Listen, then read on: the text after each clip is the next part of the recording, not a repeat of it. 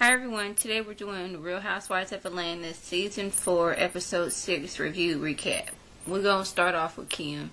Kim is like 37 weeks pregnant, but you know, she's very uncomfortable right now, so her and Kroy go to the doctor to see if everything's alright.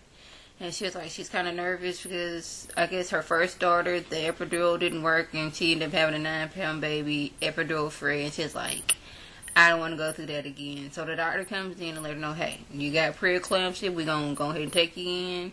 We would like to keep the baby in longer, but that's putting you and the baby's health at risk. I'm just paraphrasing. So they go into the hospital and get everything situated. And they end up having a little cute little baby boy. I, his name is Kroy, but I don't remember his full name, but he is a cute little baby boy. We're going to move over to Phaedra. Phaedra, she's due in court, and her client is late. So when he finally gets there, they go up in front of the, um, in front of the judge. Dang, I couldn't get that out. And he was like, you know, basically the dude was caught driving, had marijuana on him, and the judge was like, well, since I know Phaedra, and Phaedra's a good person, I'm a, you know, I'm a good faith out, and I'm gonna let you go. But come back in a year. Now we're gonna be periodically testing you for marijuana, and if that does happen, you in trouble, honey. And I was like, that was kind of weird. It's Phaedra. She just sit there, just she didn't have to say anything, and to me that was kind of weird. How like wasn't she supposed to like be defending him? You know, since you know that was her client and all. But that that wasn't the worst part about it. Is he go out to his car? He didn't lie to the judge because he had tinted windows. That's why he got pulled over.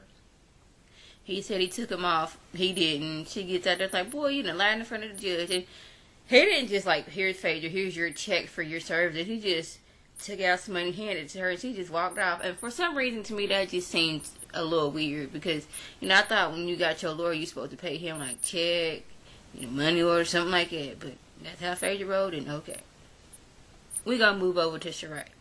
Sheree and her mom were at the her land where she's gonna build Chateau Sheree, and she's like, "Mom, Bob been tripping. He ain't paid child support for years." And she's like, "That's that's my kid's father, but I won't put him in jail because you know that's their father." Her mom was like, "Me and your father divorced at eight years old, and when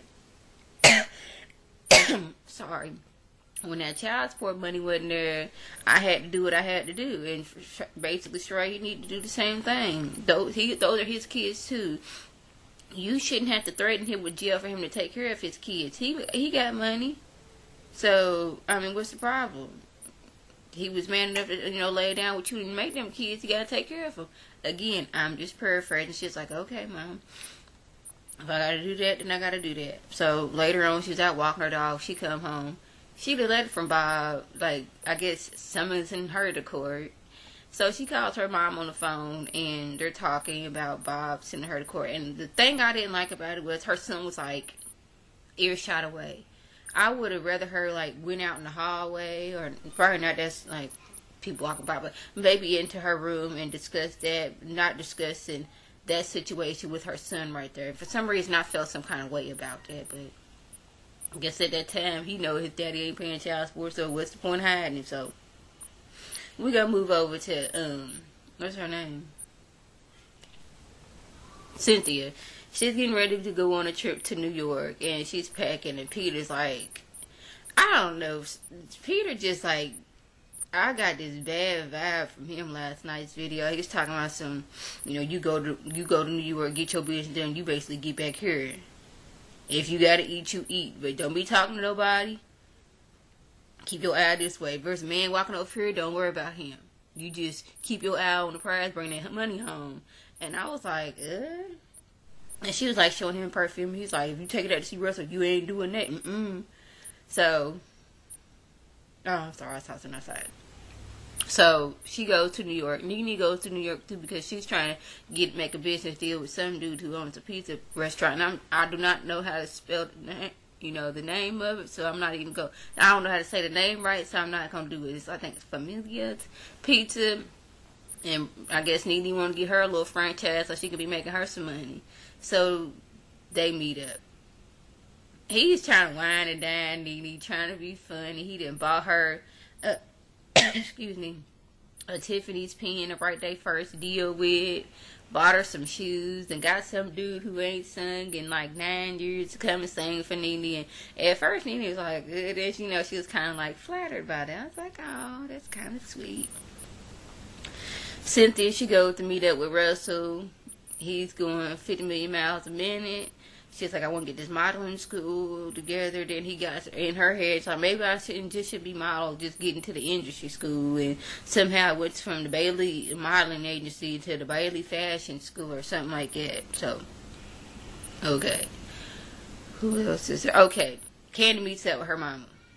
So her and Mama um, Joyce they didn't forgave each other. Mama come over because I guess she trying to get her ad put on the internet, so she brings in different dresses and so Kandi can take some pictures of her. I don't know why Kandi thought it was necessary for them to film her mom in that girder, but she did. Got mama laid out across the car. I was like, oh my goodness. I I'm maybe it's just me. I cannot sit there and take pictures of my mama and put them on the internet so she can get her man. I just I, I cannot see myself doing that. Maybe that's just me, but apparently her Kandi and her mama had that kind of relationship where they could do that. It just seemed weird. And I hope y'all can understand me because I got this sore throatness going on. It's raining outside, so therefore it's ugly. So that's probably why it's not no light, but that's that's another story.